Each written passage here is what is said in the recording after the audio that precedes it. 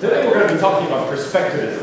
It's a, it's a view closely related to relativism, but it is not exactly the same thing as we'll see.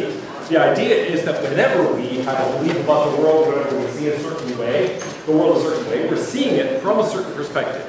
Uh, but that doesn't mean, according to the perspectivists, that ideas of truth uh, go away, even an absolute truth goes away. Instead, we understand something like the absolute truth about the world as a limited of these perspectives, a combination of perspectives. And so this is a view that tries to admit a certain insight, might say, of relativism while retaining a robust notion of the truth. So how is that possible? We're going to look at two instances today, one from ancient India, and then we're going to look at another more modern version of this view to try to get an understanding of what the perspectivist is all about. So let's start with Jainist perspectivism. We've talked some about Jainism, uh, an Indian religion and set of philosophies centered around the notion of ahimsa, non-injury. So the idea is not to cause harm to anyone or anything. And along with that comes a certain metaphysical picture, a picture of truth that is a perspectivist picture. So we've talked some about Jainism. It's a religion and philosophy tracing from Mahavira, uh, a contemporary of Confucius and the Buddha. It's best known for that emphasis on nonviolence, ahimsa. But it also advances a version of perspectivism, a version of this view that there are different perspectives on reality, all of which have a certain kind of legitimacy, none of which captures the entire truth. So whatever we say, whatever we think, we're really capturing something about the world, but not everything. Which means everything we say and think is in one sense true, in another sense false. And that leads to a very different conception of logic and a different way of thinking about belief, about language, about all sorts of things. Well, Jainist ethics we've discussed a bit. The ethical views are based on five great vows. The first one is non-injury, okay, ahimsa, do not harm any living being. The second is truthfulness, be honest, tell the truth. Of course, we're going to see that truth here is uh, something that is relative to a given perspective. Then respect for property, chastity, and finally non-attachment. So you can see elements here of Buddhism, of Hinduism, uh, of other views blending into a certain conception.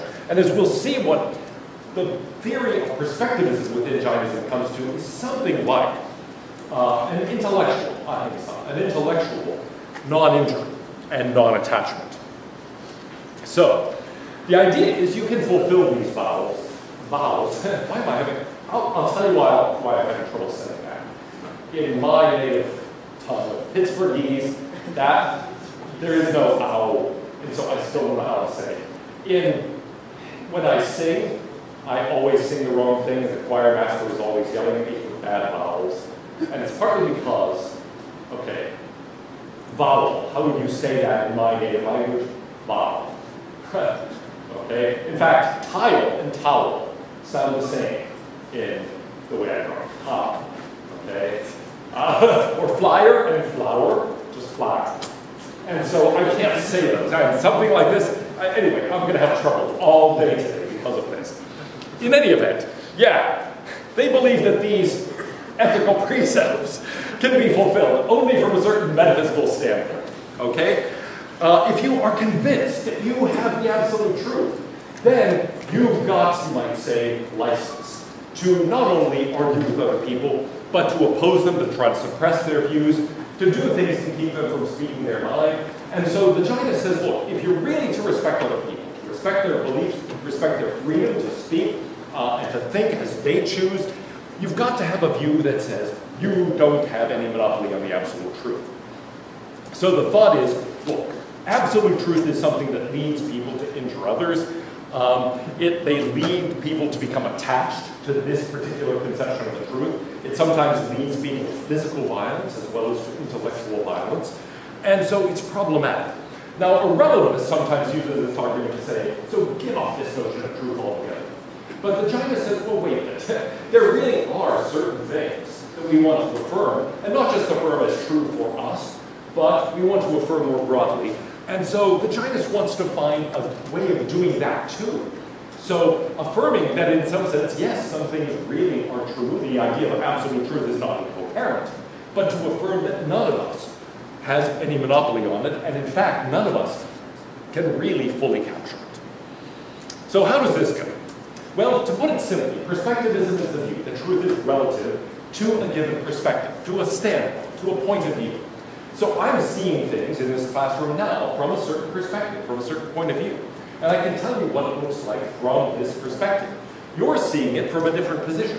And so you have a different standpoint, a different perspective on what's going on in the room right now.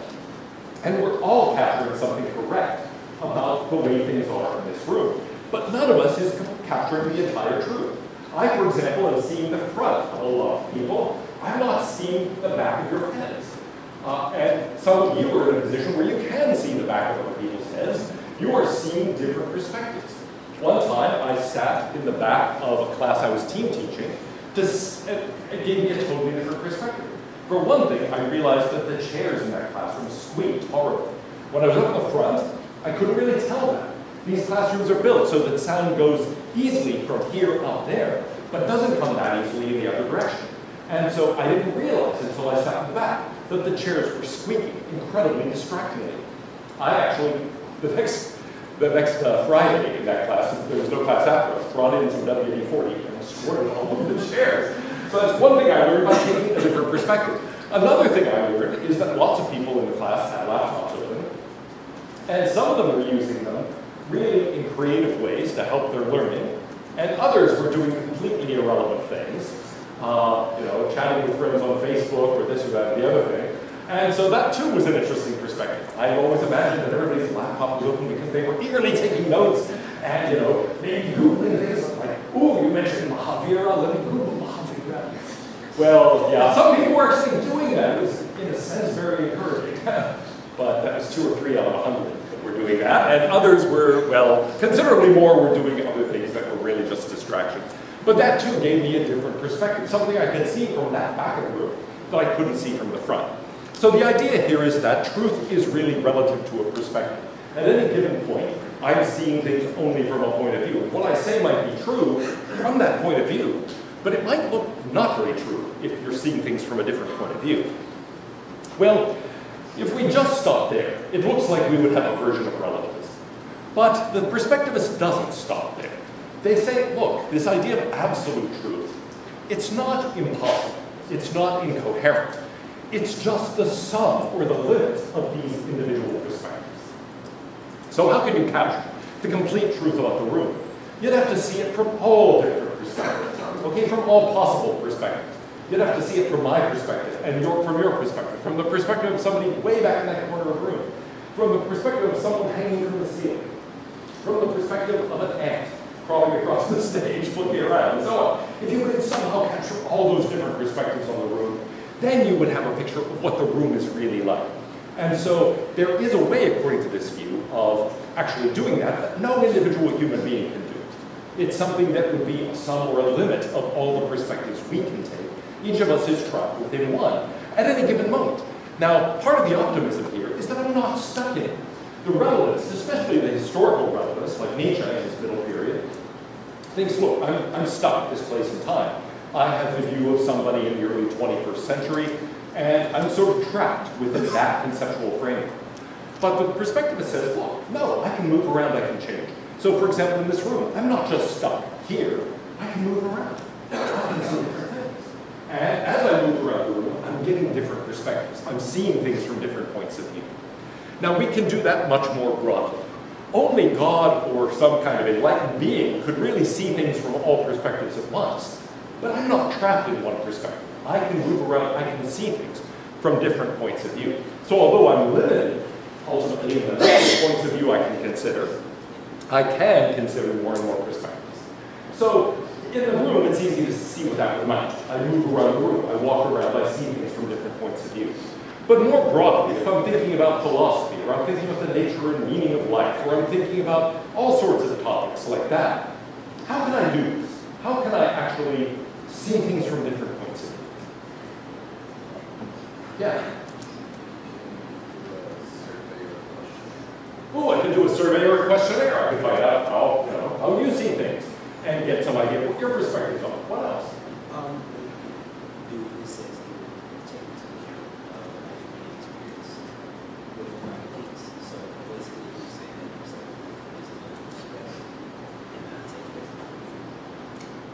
Okay, yeah, good, exactly. I can, I can, yeah, good. I can talk to people, right, and find out what their perspective is. And I can realize, oh yeah, my view of things is really only one view, other possible views. So in short, I can listen to people. I can talk to them and listen to them and see what their point of view on some question is. And the more I do that, the more I'll have some idea of what other possible standpoints there are. What else? Like altering reality, like you get drunk, for instance. Oh, all right, good. yes, I can see what the room looks like drunk. Uh, I could see what the room looks like high. Um, I could see what the room looks like while tripping. Um, gosh, uh, I could just take lots and lots of codeine. I could sniff glue. see what it looks like. Um, I did have a professor as an undergraduate who said at the beginning of the term, listen, some, one day I'm going to come to class stoned out of my mind, just as an experiment. And I want you all to see if you can tell which day it is. Uh, we, I don't know if he did it, we couldn't tell. Uh, I don't know what that says about his teaching. He thought he was such a great teacher that even stoned out of his mind, he be great. I sort of think maybe it said something else about his teaching. But anyway, uh, whatever you might think about that, you could say, yeah, okay, that's one way of seeing the world in a different way. And indeed, there are cultures where that's considered a normal part of the process, where you say, yeah, I've got to see reality from a different point of view, and so you do hallucinogenic drugs, peyote, various kinds of things to try to get into that altered state of mind. What are some other things? Yeah.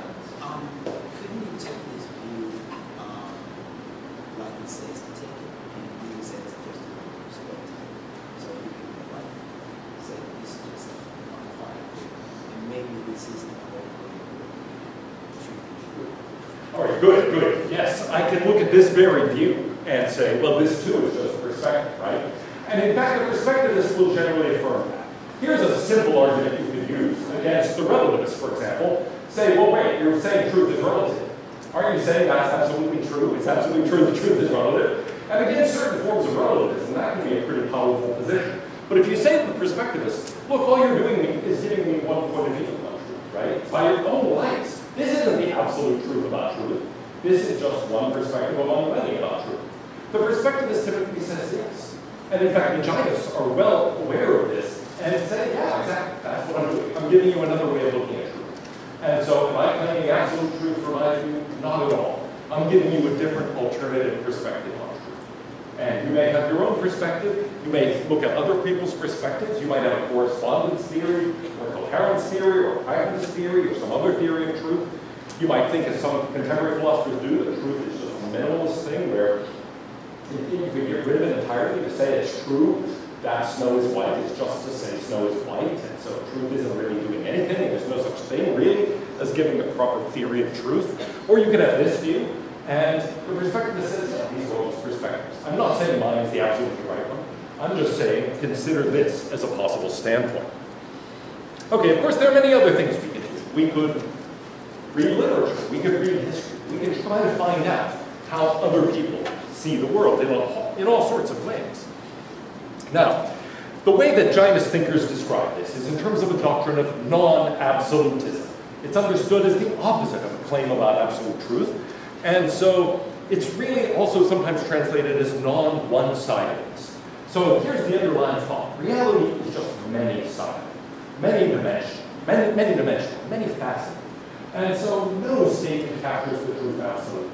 Everything we say is at best true in some respect. Nothing is true period. Okay? Everything is true from a certain point of view.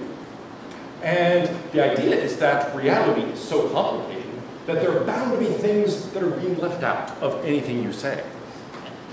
But of course, the same is true of falsehood. So things are false always from a certain point of view. Every statement approaches this topic from some points of view, from some point of view, and gets certain aspects of it right, certain aspects of it wrong. And so to really understand anything, we have to see it from many different points of view. So the Jainist says, look, don't just listen to me about truth. Find out what other people have said about truth. Um, don't just listen to me about what's going on in this room. Talk to other people. Try to move around and see it from different points of view. Try to understand how different people have thought about the problem. And only by doing that can we at least get closer to something like an absolute truth, the way reality really is. So, what does this mean? It does have some important implications. One is we should respect people and we should respect whatever they say or believe because every statement contains some element of truth. I've noticed over the past few months that Facebook has gotten to be a really hostile environment for many people, okay? Um, and there are a lot of people who really don't want to hear anybody say or think or argue for any position they don't like. Uh, the judge says, look, that's really unfortunate because no matter what your view is and how many things are being said for it, there are arguments on the other side. There are aspects of reality that are being left out of your view. And so it's really important to converse with people who disagree with you and do that respectfully. So the thought is, well, everybody has a certain point of view, and there's a certain kind of legitimacy to every point of view. Now that's not to say that everybody's right. It's not like, you know, this person says blah, blah, blah. Oh, you're right. This person says, no, that's not true at all. You're right. Somebody says, they can't both be right. You're right. Uh, it's not like that exactly. It's really just that no matter what somebody is saying, they're getting certain things right. They're expressing a certain standpoint on reality that really is the way it looks from a certain point of view. But that's only from one point of view. And it might be a very limited point. It might be a very broad point. So it's not as if no views are better than any other views. Some are. Some are capturing many different facets of reality. Some are capturing only one or two. And so it's not as if we say, uh, look, say whatever you want, it's all good, it's all true from a certain point of view. Some points of view can actually incorporate lots and lots of information from different. And the more we do that, the closer we come to an accurate picture of reality. Well, the picture of the world then is precisely that it is many-sided. It has, in fact, infinitely many sides or aspects or facets or dimensions. Some of these are actually in opposition to one another. And so there are different models we can use mentally for understanding the world, and they all have some legitimacy. There are different ways of thinking about things, and they're all based on some correspondence with reality, some connection. They're all seeing something, but none are capturing the full infinity of all of those facets of reality.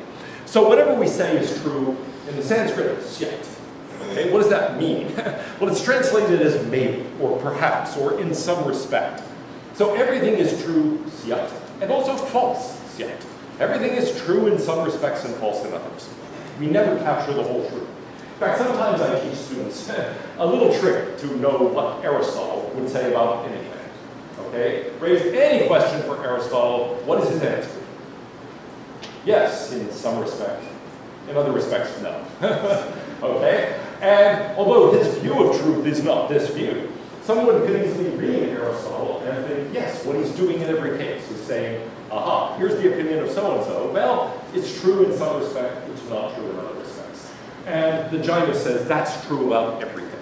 Aristotle's attitude in practice is really the right attitude to take. No matter what view you encounter, it's getting certain things right, but not everything. So here's the classic story that illustrates this, the blind man and the elephant. Okay, the blind man all going up the elephant, trying to describe what the elephant is like. And they all have models that they are introducing of what the elephant is really like. And all of them are capturing something about the elephant. But none of them are capturing the full truth about the elephant. Here's a more ancient depiction of the same story, but with a very strange looking elephant. And here's a statue of the blind man and the elephant. It's a story that actually has a great deal of resonance in Hinduism and Buddhism as well as in Jainism.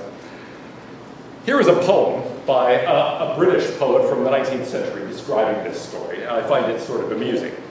It was six men of Hindustan, to learn and much inclined, who went to see the elephant, though all of them were blind, that each by observation might satisfy the mind. The first approached the elephant, and happening to fall against his broad and sturdy side, at once began to bawl, Bless me, it seems the elephant is very like a wall. The second, feeling of his tusk, cried, Oh, what have we here? So very round and smooth and sharp. To me, tis mighty clear this wonder of an elephant is very like a spear. The third approached the animal, happening to take the squirming trunk within his hands, then boldly up and spake, I see, quoth he, the elephant is very like a snake. You're not nearly as amused by this as I am. I don't know why. I mean, you've got to go, go back to your childhood. This is sort of a children's story, but it's, it's making a serious philosophical point here. The fourth reached out an eager hand and felt about the knee. What most this wondrous beast is like is mighty plain, quoth he. Tis clear enough the elephant is very like a tree. The fifth, who chanced to touch the ear, said even the blindest man can tell what this resembles most. Deny the fact who can, this marvel of an elephant is very like a fan.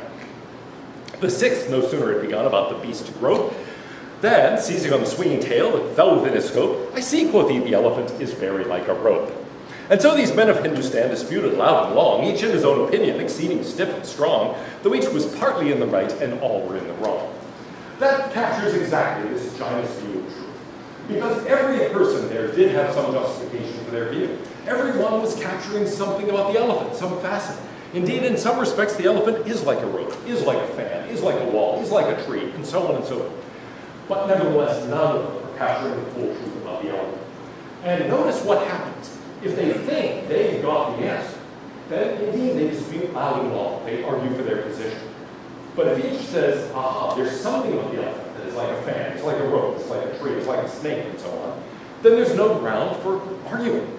Because I can say, there is some aspect that's like a wall. Ah, but you say some aspect is like a fan. Okay. We can try to combine those into a picture of what the elephant is actually like. Well, going along with this then is a certain view of language, maybeism, it's called, or relativism in some translations, though I think that's a bad translation. The idea is that language then is capable of expressing the truth, but only from a point of view. Just as I can only grasp the truth from a certain point of view, so language can only articulate the truth from a certain point of view. And this has some sweeping implications for law. Aristotle says every proposition, every statement is either true or false. But now, according to this view, that's much too simple. Actually, Vadi Devasuri in the 12th century develops this into a theory of language based on sevenfold predication. And here's the idea. Things might be true or false or indeterminate, or true and false, or true and indeterminate, or false and indeterminate, or true and false and indeterminate. So, here are the seven possibilities. It is, it is not, it is and is not. It is indeterminate. It is and is indeterminate. It's not and it's indeterminate. It is and is not and Okay. Now, think, oh, this is weird. On the other hand, think about when you answer a question with eh, yes and no. Does that ever happen? What's a question you might answer with eh, yes and no? Yeah. Do you like Texas? Oh, well, yes and no. Like some things about Texas. Don't like it. Or what is it about? Yeah. Do you like philosophy? Do you like philosophy? Oh, yes. I'm sure you say, oh, yes, it's possible. But you might well, yeah, yes and no, right? I like some things about philosophy. I don't like other things about philosophy. I'm afraid to ask for a third example. What's another thing like this? Yeah. Like whether you slept well. Okay, good. Did you sleep well? Yeah, you might say, ah, yes and no. You know, I can't wake me up, but in between I slept pretty well. um, and so, yes, there are lots of ways. In fact, that's a good example. Because it's not as if just, aha, this is a broad topic and I can say various things.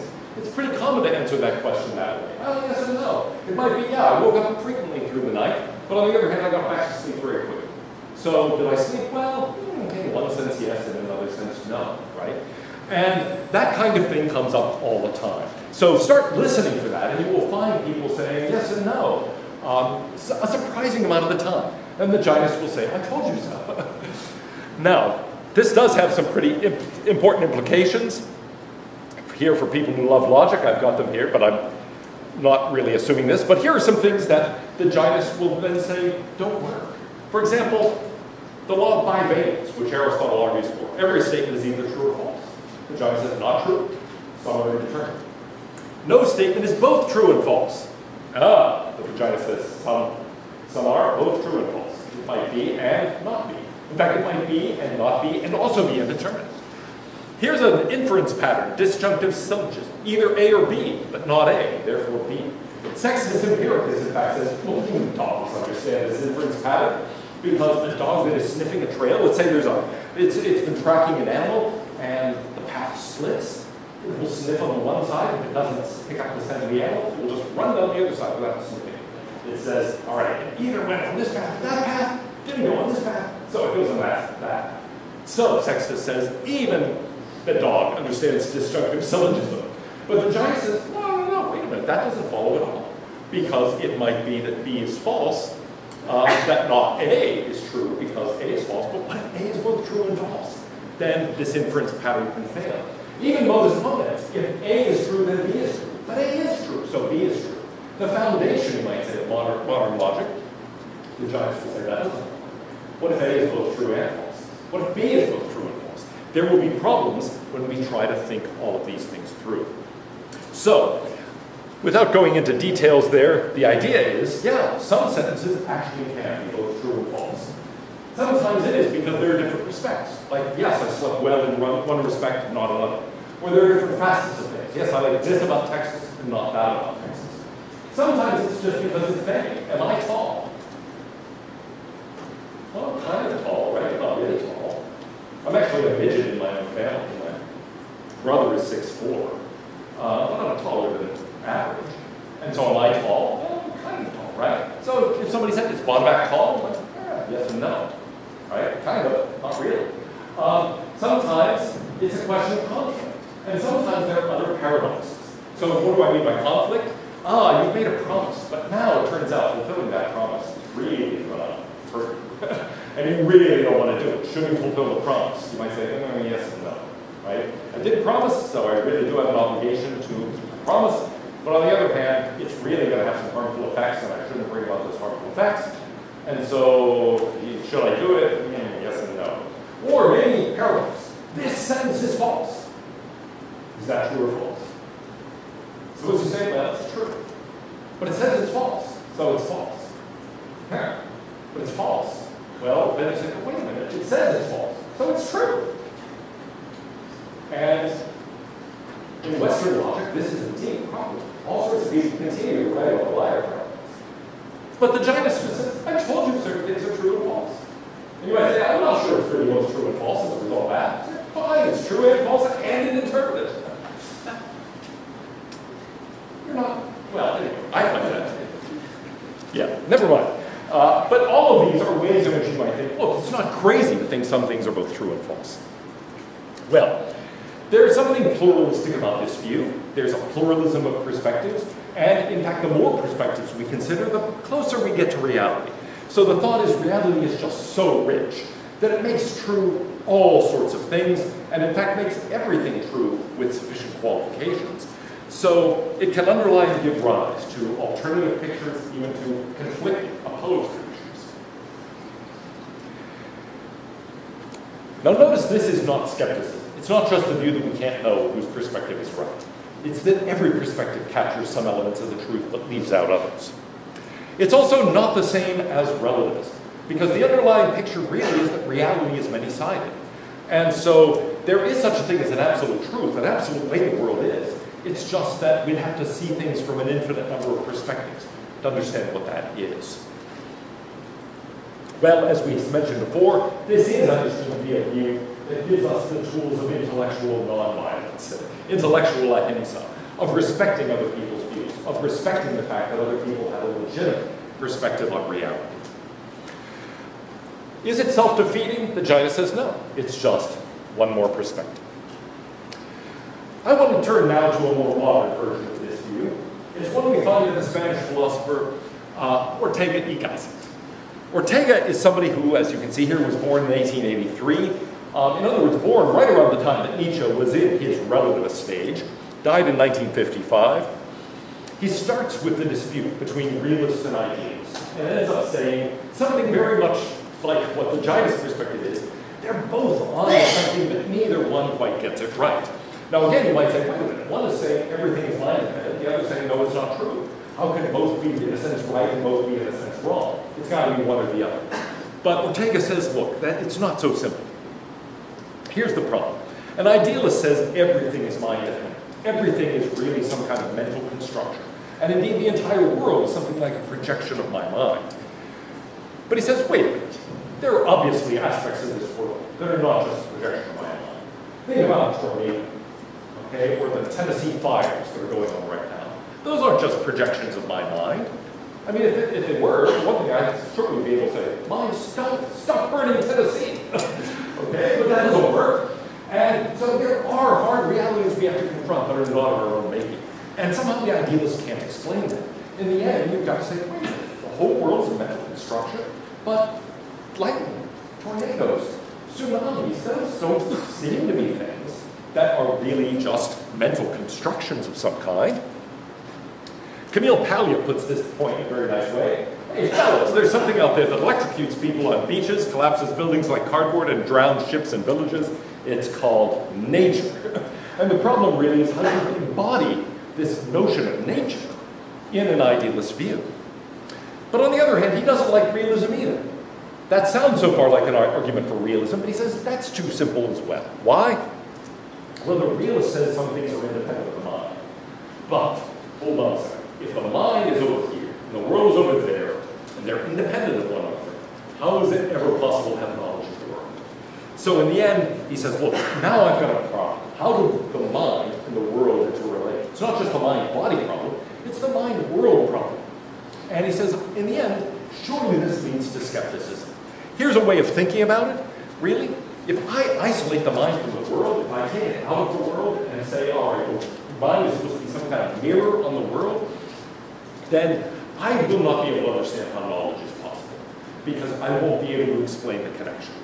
And so in the end, he says there is a classic argument for ideas, namely skepticism.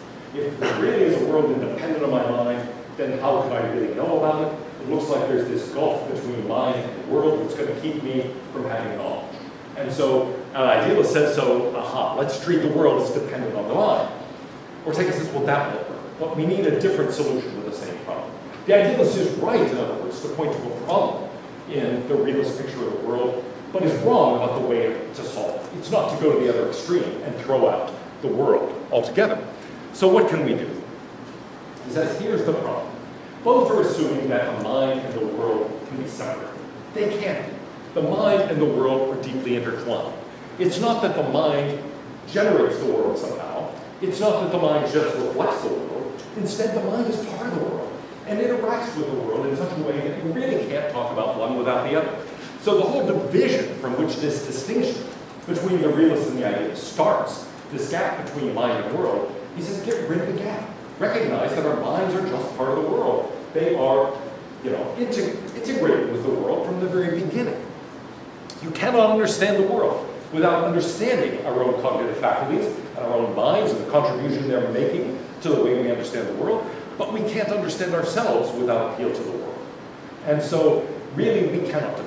It's very something, it's very similar to the opening page of Calvin's Institutes of the Christian Religion, where he says, I can't understand God without understanding myself. I can't understand myself without understanding God. And so, really, myself and God are intertwined. And Calvin starts from that premise. Ortega is putting the world in place of God and saying, it's just like that. I can't understand myself without the world, and so the idealist is wrong. On the other hand, I can't understand the world without appeal to myself the way in which I'm contributing to the way I see the world. And so the realist isn't right. Yeah. Um, what do we say about, um, we say that the world can exist without us? Let's wait for always. Or can we say that um, humans can exist without the world? So basically, the world is having its own humans can't. So Cool. Is that, is that, is that a correlation between, maybe it is true, the world itself, and we, we somehow fit into it, or it could stay into it. All right, good, good. Next time, we're going to look at arguments for realism. Um, and you just formulated a terrific response to this argument that you're giving, which is, wait a minute, there's an asymmetry between the mind and the world. Could the world exist without the mind? Not just my mind, but any mind? Sure. Could the mind exist without the world? That's much less clear. Um, and so you might, and by the way, if you think, well, maybe I could be disembodied soul floating around in head, think about the world not necessarily as the physical world, but just as something outside the mind. You might think, yeah, wait a minute, I, surely there could be a world where there are minds. It's not obvious that there could be minds where there is no world. So that suggests that maybe there is a priority relation two, and it's not just, oh, they're just all tangled up and knotted together from the beginning. Maybe one does have a kind of priority. That's just what the belong. But for his, for Ortega's, you know, sake, let's put that aside for a moment and think about where he's going with this. Because he says, look, this suggests something really important about the way I have to understand myself and the way I have to understand life. He says, I am myself and my circumstance. Who I am, what I am, depends on my situation in the world.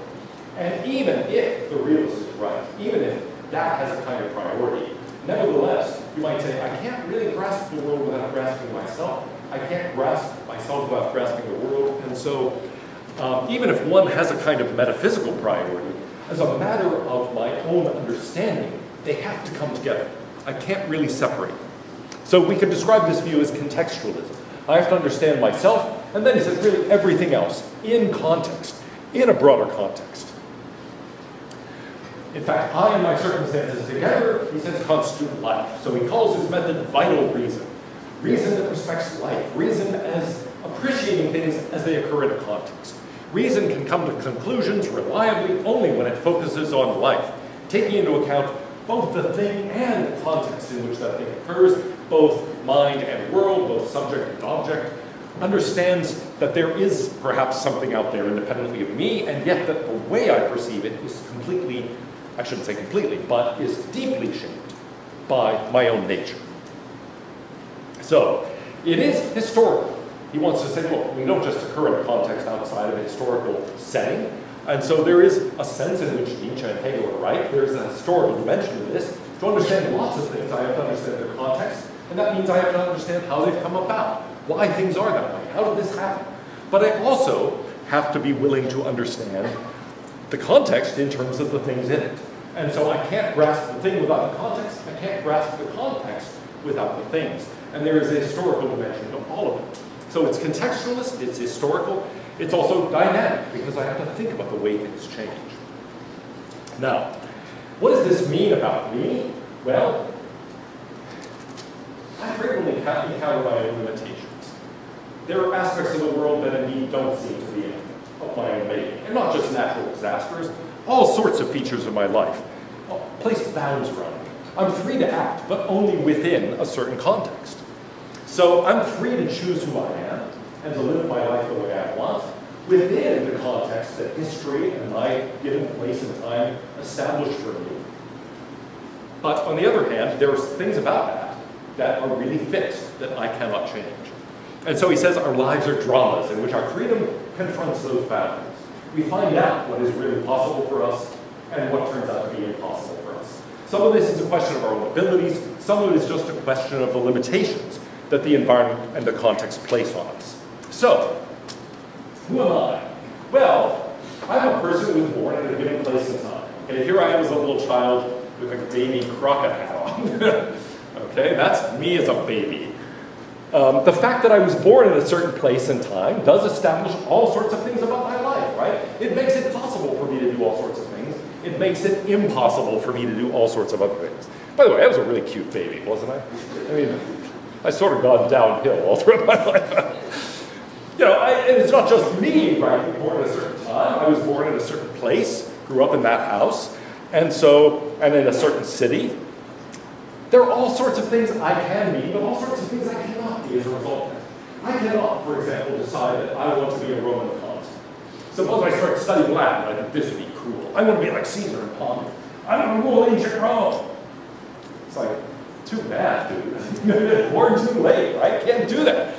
Or, suppose I say, I want to be a medieval monk. I'm reading a history book and I found, find out that because the water in the Middle Ages was pretty unreliable, monks were allocated a gallon of beer a day, which is true. And I think, a gallon of beer a day, that is awesome. Sign me up. well, I can't do it, right? I mean, there are still monasteries, but they don't give people a gallon of beer a day. And anyway, if I can't sort of do the whole medieval thing, what, what's the point? I can't be a starship captain, right? I can't watch Star Trek and think, oh man, I want to be the successor to Jean Picard. I can't do it. There are no starships.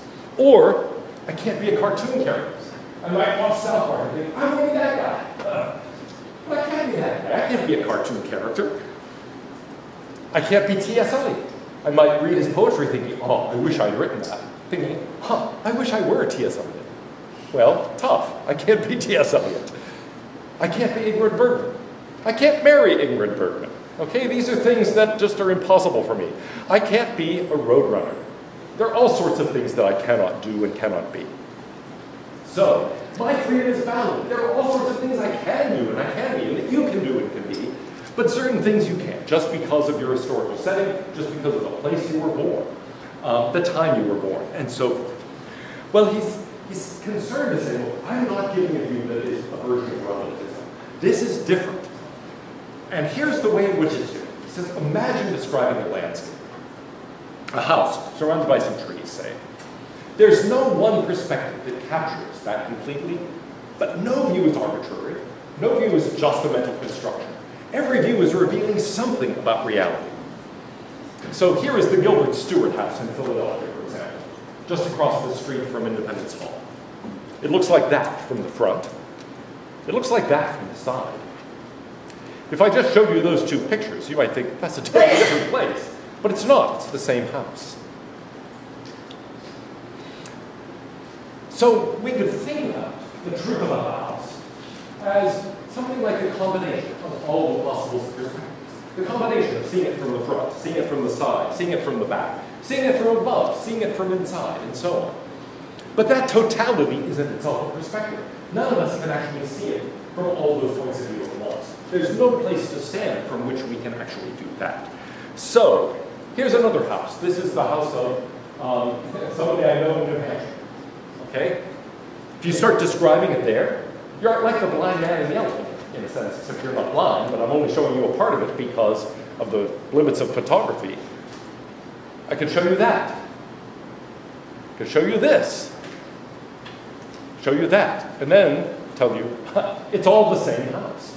Just different parts of it were built at different times and on very different plans. So in the end, you could move around and you see something new about the house all the way.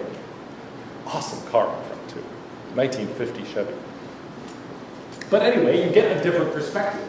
And somehow to understand the house, you have to combine all those different points of view into one vision. But there is no place to stand from which you see all of them at once. So Ortega says, look, here's the problem. We see the world from human perspectives. We can't see it from God's point of view. We can't see it, as philosophers say, sub specie aeternitatis, from the point of view of eternity. We can't see it as God sees it from all perspectives at once. We instead are trapped within a given perspective. And so we might have this perspective on the Earth. This is a view of the Earth from Saturn. The Earth is that little dot. Well, actually, on the screen, you can barely see that little dot there. There's another perspective on the Earth. But of course, you and I are typically not seeing it from those points of view. We are seeing it from a point of view down here. And yet, my view of it is pretty limited. Kant's view is even more limited still. He never traveled more than 10 miles from where he was born. Uh, and he didn't have the vision from space that we could have by looking at these photographs. Still, you might say, no matter how many of these perspectives we get, we're only sampling finitely many of the infinitely many possible perspectives.